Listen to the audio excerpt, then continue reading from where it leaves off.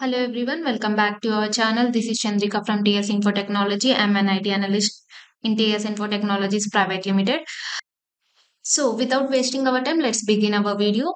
I will cover some of the Power Automate string functions like day of week function, day of month function and day of year function.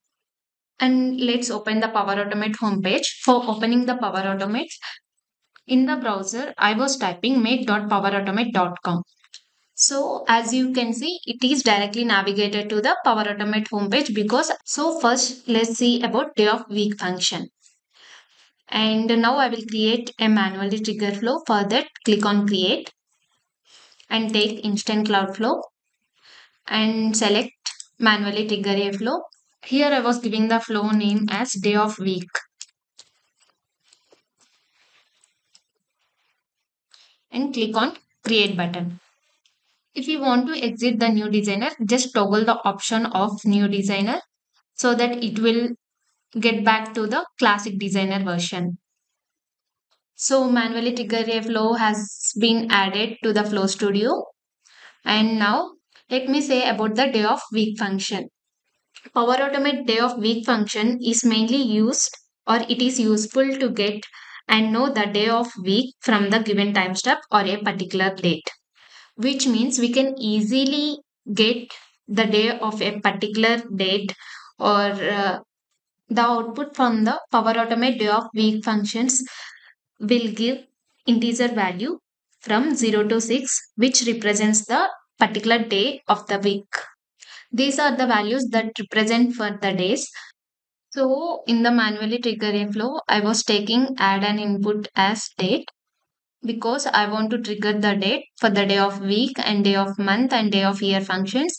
And now I was taking initialized variable flow action so that we can take the expression for the day of week, provide a name here.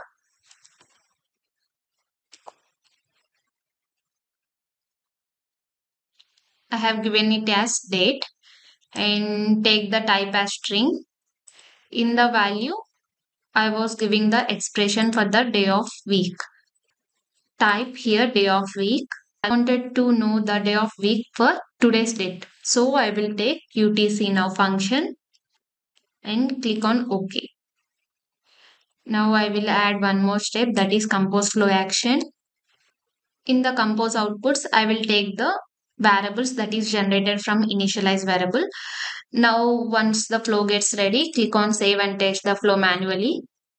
Now the flow is now the flow ran successfully and open the compose outputs. Now it has generated the output in the integer form that is 4 which means 4 represents for Thursday and today's day is Thursday.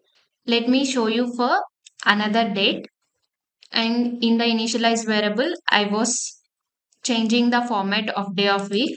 Here I was removing UTC now and I was taking trigger date so that it will show the day of week for the particular date that I will trigger.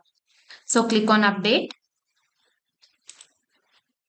save, test the flow. As you can see here, I was selecting 16 and click on run flow. Then now we can see the outputs that is generated from the day of week will be 2 which means it is Tuesday. So now let's get into the day of month function. So click on edit. Power Automate day of month function will return the particular day of a month from the given timestamp or a given particular date and time. As you all know, a month has 30 to 31 days. So it will return particular day of a month from the given time. In the initialize variable, I have taken the name as day of month and type as string and providing the value from the expression and taking day of month and I was taking here UTC now and click on OK and in the compose outputs I was selecting day of month from the variables and save and test it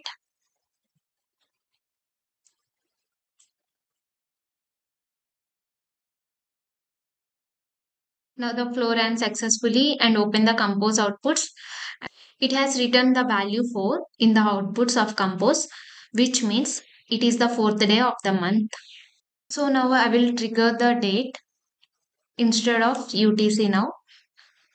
So in the value I was taking from the dynamic content as trigger date and click on update. Save.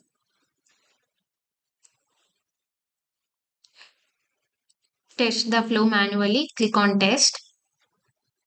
Here I was triggering the date.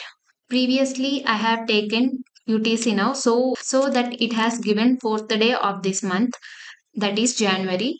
I will pick one of the date in the next month. I will pick 16. After that click run flow and then and open the compose outputs to see now the flow has been returned the value as 16 which represents 16th day of a month so now let's see the third function that is day of year function and this is also similar to day of month function and it gives the sequential day of the year from the beginning of the year of a particular timestamp that we have provided. It will calculate the days between 1 to 366 days irrespective of the months. It will ignore the months but it will only calculate the days continuously within 12 months. So in the initialize variable, I was taking name as day of year now and the same type as string. I was changing value of day of year expression, day of year. And first I will see the UTC now. Click on OK. Today's date is 4th of January 2024. Now let's see it will give fourth day of that particular year or not. So click on save and test and select manually and click on test button.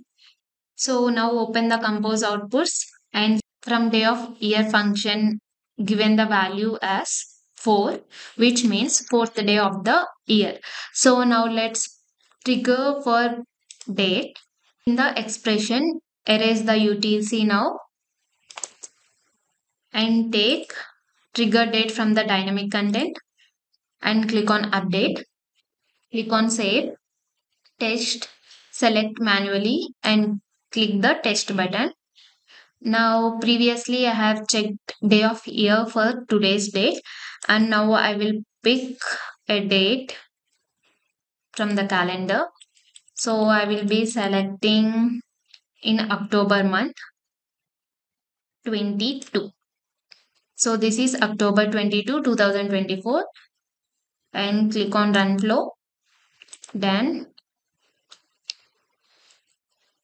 see the flow has been ran successfully and open the compose outputs value as 296 which means it is 296th day of a year in the 366 days. So this is all about how to use day of week and day of month and uh, day of year functions in Power Automate. For the detailed view or detailed description of these functions, go through the link that is provided in the description box. For more videos on SharePoint Online and Power Apps, Power Automate and Power BI, please do like, share and subscribe to our channel and click on the bell icon. See you in the next video. Thank you.